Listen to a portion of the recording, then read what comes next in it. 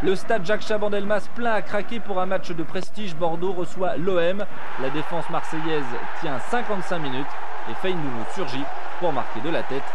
Feindounou a su se faire une place au soleil dans cette équipe aux côtés des deux buteurs Paoletta et Darcheville. 1-0 pour Bordeaux.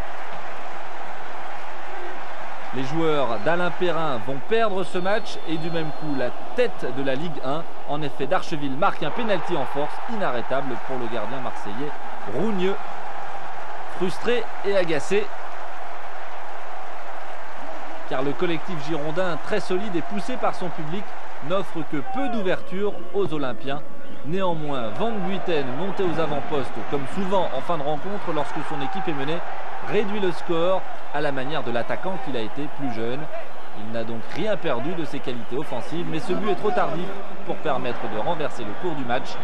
Bordeaux, à la fin des arrêts de jeu, gagne 3-1, but de Savio. Bordeaux poursuit sa belle série, 5 victoires et 1 nul en 6 rencontres. Les Girondins remontent à la sixième place.